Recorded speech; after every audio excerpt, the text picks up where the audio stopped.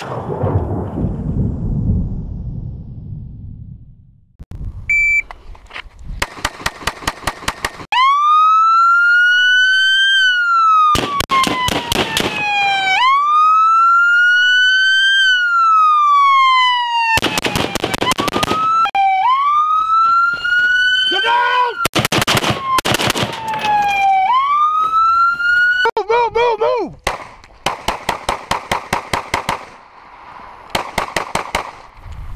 Hey everybody, Aaron Cowan with Sage Dynamics. Uh, this week we're going to be talking about 3D in context again. The last video I did, I showed you guys how your center of mass point of aim can change based on the way the target presents itself. Uh, people are three-dimensional. We're training to shoot people, not paper. Practicing to shoot people, not paper. So we want to factor in the realities of that. I got a lot of requests for uh, the bullet path. Guys want to know, okay, if I shoot a target that's presenting or a threat that's presenting from from uh, a, center, a traditional center mass presentation or a side oblique presentation, what is the bullet path going to be? Well, I'm going to show you in this video. However, as a disclaimer, I have to, uh, I really have to underscore the fact that these are best case scenario situations. Uh, just because a bullet can traverse directly straight from the point of impact and have a point of exit that's in line does not mean that's actually what's going to happen. There's a lot of things inside the human body physiologically that can change the path of the bullet. Uh, organs, bones, things of that nature can change how the bullet um, acts once it enters the body. Your terminal ballistics can be affected by that. Another thing to factor in is when we're using a handgun versus a rifle, your trajectory through the body is going to be different. But we will take a look at best case scenario just because I had so many requests. I figured I'd put a video out there so you guys can get an idea conceptually of how it works in three dimensions. All right, so as a control, we're gonna take a look at our best case scenario first. Your traditional center mass shoot, which is this target squared to you, not using cover, not bent over, not turned oblique, nothing like that. A literal straight up squared front presentation.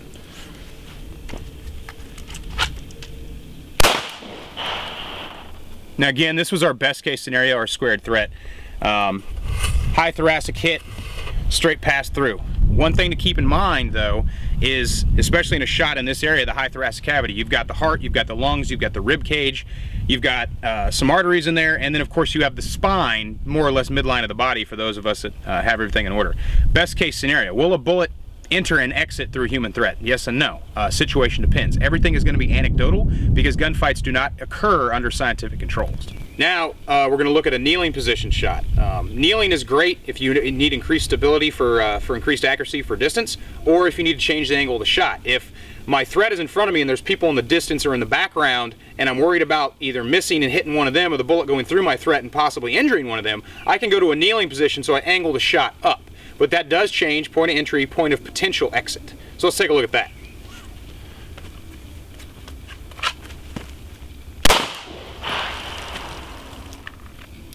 All right, so on the kneeling, my, my point of impact, point aim, point impact was basically the same from my first shot. But as you can see, the actual bullet path, the exit is uh, considerably higher based on the angle. Now, your distance to the threat, your proximity to the threat, is going to dictate how extreme that angle is. And if the bullet exits the body, you can see it exits higher than a traditional front-on shot. That makes sense, right? Because the gun is angled up. Um, but this is something that some people don't appreciate when shooting two-dimensional targets, when they factor in changing the angle of the shot. Even with this angle, I would have to go, especially if there was a person standing behind my threat that I was worried about hitting and I didn't have any time to change my angle or anything like that. I literally, all I had time to do was go to a kneeling. This might not necessarily remove that person from the path of the bullet, so I would have to increase the severity of my angle in order to get the round to angle up higher and go into the roof versus into a potential crowd of people.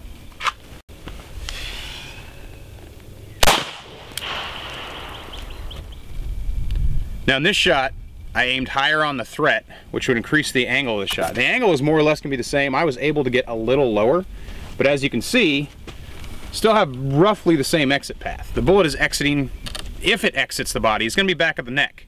Um, and again, anecdotal information, but if you think about it, the angle is going to continue to increase more or less on that flight path. So if there's people a little further back, the bullet could potentially miss them. What does this mean? This is why I preach headshots when you can get them, especially in close pro proximities. Because if I'd taken a headshot, the severity of the angle would immediately exit unless there was someone significantly taller than my threat.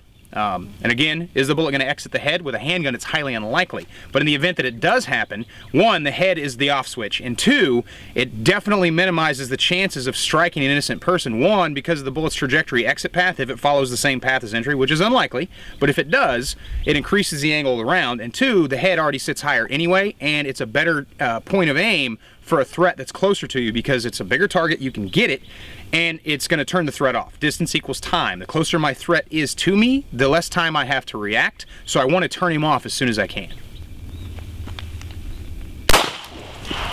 Hmm? Now, to change the angle of the shot in close proximity, this is our ideal situation. Uh, I went for a high head hit. I was aiming for brain stem. I want to get center of the face, um, bottom lip to uh, basically the middle of the forehead, that area. Uh, pretty decent shot, but as you can see, entry to exit, potential trajectory is if the round exits the head, which is highly unlikely, but it can't happen, especially with a rifle.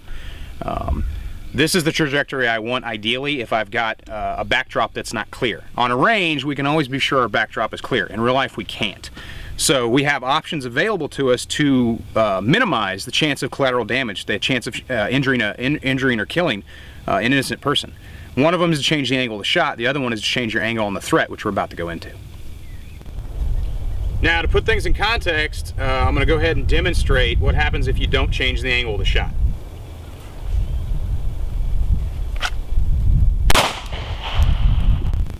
Now, had a high, really good thoracic cavity hit, but I had an innocent behind my threat. So as you can see, if the bullet exited the body, if, it would have struck that person. Now it's pretty common sense, they are behind him, right? But from my straight front presented angle, I might not have considered the fact that the angle would continue through a three-dimensional threat and hit this potential person. So changing the angle of the shot, be it your elevation or as I'm going to demonstrate, moving, flanking the target, attempting to flank the target, changing the position of the shot definitely factors into uh, shooting in 3D. Now you guys know if you've been to a Sage Dynamics class or you've watched other videos, I promote offline movement. Uh, especially on the handgun when you draw, there's that dead space there where you can fill it with another activity such as moving left or moving right, moving laterally, uh, whatever you need to do. In this situation, I had to change the angle of my shot. A kneeling probably wouldn't have made sense as we've already looked at how it, it's really hard, especially at close distances, to get that angle extreme enough unless you go to the head. So what did I do? I just simply moved offline and I was able to hit my threat, but if the bullet exited the body, my innocent person would have been okay. Now, again, this is a training artificiality because there's no guarantees that when I draw my weapon, he's not going to move, they're not going to move. That's why uh, fire discipline is so important. Um, be prepared to not have the shot available to you, even though you think if, okay, if I move left, I'll have the shot you don't know what he's going to do. You cannot predict your threat's action. So you have to be prepared that even if you try to clear as you move, he may move in a way which basically places him back in a line of fire or places this innocent person in a line of fire. So you have to be prepared to seek cover and wait for a better shot, disengage and roll back, or address the situation in a different way, change your angle, think outside the range as much as you can to get a clear shot. Now, in that situation, say I didn't have the ability to move left or right, I just went to a kneeling. I took the headshot because I was close enough. I was confident I could get it. In this situation, the round went in high forehead, higher than I would like it because there's always a chance on the curve of the forehead, especially with a handgun, that the round could just glance off. But if it did enter, top of the head, definitely would have cleared. As you can see, there's no bullet holes in my innocent target. Now, taking a look at our defense of a third party situation, say we come into a situation and we feel that we should get involved, we clearly identify the aggressor, we can clearly identify the victim, and we decide to protect human life. We might, uh, the only shot that could be available to us might be a flank shot depending on how we approach the situation.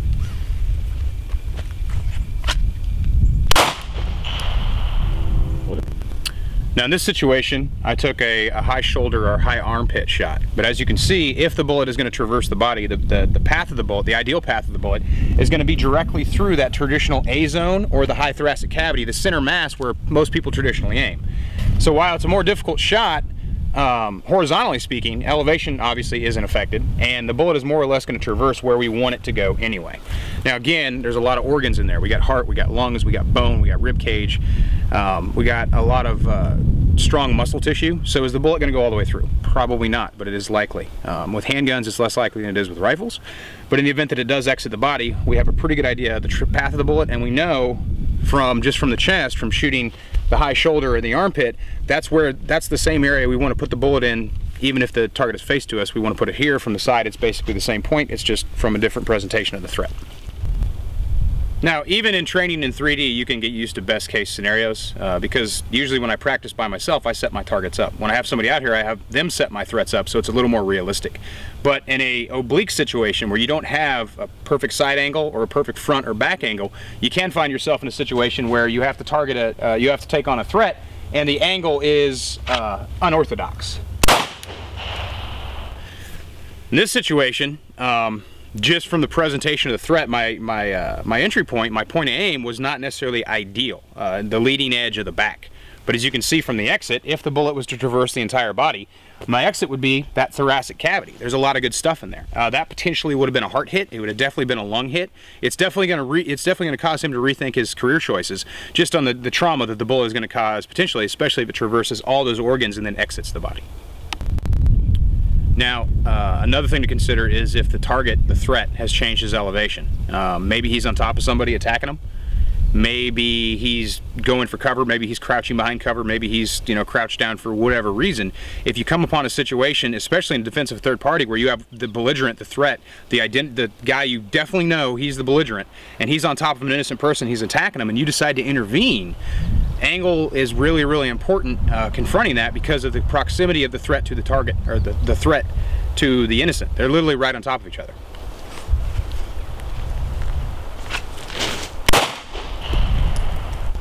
Now, in a situation, especially defense third party, um, and you see it in law enforcement, if you have a cover officer crouching down or something like that, uh, people are close together proximity, uh, the angle your threat's going to change, your presentation of the threat's going to change. In this situation, this would be like my threat is on top of, or crouching over, hitting, stabbing, whatever, uh, the, the victim. So I had a pretty clear shot based on my angle. If I had gotten closer, such as this distance, I could potentially wound the innocent person if I engage him, but that wouldn't make sense.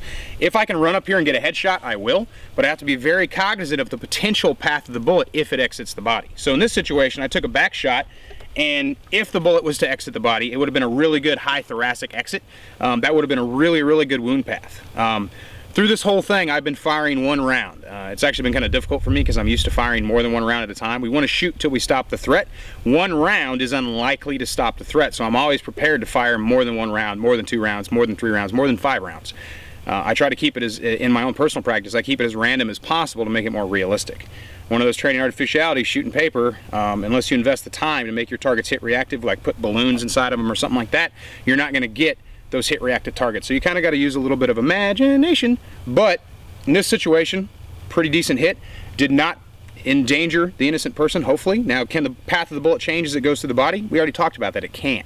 Um, that's one of the factors. When we talk about real life, we want to minimize the risk to innocence as much as we can. But since we're using a firearm, we can never totally remove it. Now, when we when we train realistically, uh, all good instructors have students at some point shoot from their back. Um, my opinion is there's two categories of shooting positions. There's those we choose to be in, such as kneeling or prone or maybe fetal prone, urban prone, whatever you call it. And then there's positions we're forced into. Being on your back is most likely going to be a position you're forced into. So you don't really get to choose the presentation of the threat. Um, when I think about reality and context, when I think about the shooting from the back position, that's a threat on top of me or who has already knocked me down. Maybe he's still standing fully erect, but his goal is either to injure me from a standing position or he's going to come in on top of me with a knife or with his fists. Because if he has a gun, it probably wouldn't make much sense for him to actually physically mount you. But what's our bullet path, our ideal bullet path, our potential bullet path in a situation like that? Now on this drill with the, with the threat mounted me, I fired two rounds uh, to demonstrate uh, what I consider to be a range-based training scar. The first round I fired from a close retention to keep my elevation low because I know in some of the classes I've been through in the past, when we fired from our backs, we couldn't have an extreme angle on our muzzle based on the, the artificiality of range training. Realistically, if you have a berm that isn't high enough or if you don't have an impact area, on this range I do, I can shoot over the berm in one of these directions and it's fine my first round would have been in low in the pelvic area and it would have exited probably through one of his ass cheeks. My second round, I brought the gun up realistically where I'd want to, and I put the round high thoracic, which is traditionally where we'd shoot our threat if he was standing up, And as far as the shot is concerned, you can't tell um, from the potential path of the bullet that it was fired on a threat that was bent over me like this because of where I actually put my, my point of aim. So if I shoot low pelvis, I might get decent hits, but they're not going to be incapacitating hits. They could potentially be immobilizing hits. They could shatter that pelvic bone. But immobilization is not incapacitation. So even if you can't shoot live fire on a range in this extreme of an angle on a threat, it is something you want to consider for your own personal practice when you think about being in this worst case scenario. You have a threat on top of you, you're able to defend yourself and get to your weapon if that's your goal, or if your goal is escape or what have you. I need to still aim where I want my bullets to go, even if the elevation has changed. When people do standing retention drills, a lot of times they fire for the pelvis because they can't angle their gun up. Realistically, that's bullshit. You need to be able to angle your weapon as high as the training environment will allow you, or you need to find a place where you can be as realistic as possible when it comes to the angle of the weapon. You need to find a range with a higher berm, or find a range that has an impact area where you can actually shoot over the berm, uh, so you can practice these high angle shots. Now, uh, reality is different than training. Uh, we want to train to reality as much as we can, but there are training artificialities, especially in the square range, especially if your range doesn't allow this kind of shooting. Uh, but it's something you need to practice, even if it's only positional practice with dry fire or a SIRT pistol or something like that. Um, and again, these bullet paths are potential bullet paths. They're not going to happen. They can happen. With a rifle, obviously the, the possibility of that bullet path increases. But like I said in the beginning, as my disclaimer, there are a lot of things inside the body that can potentially change the path of the bullet or keep the bullet from exiting the body. Ideally, we don't want the bullet to exit the body. We want it to penetrate as deep as it can to hit those vital critical organs and then stay in there so we don't increase the chances of wounding potential innocent bystanders if the bullet exits the body. But we need to train and practice for the possibility that the bullet will exit the body and attempt to, to make every effort to clear our backdrop, uh, the, the backscatter or whatever you want to call it, behind our threat uh, to make sure we don't wound an innocent person. Um, we always want to train for reality. We want to make it as realistic as possible. So this is something you can include, um, again, anecdotal information, but you can include it in your own personal practice and personal training. I'm Aaron Cowan with Sage Dynamics train accordingly.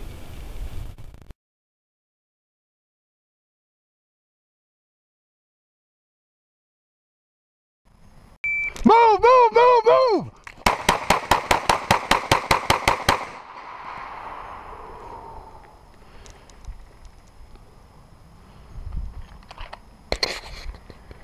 Are you still on your phone?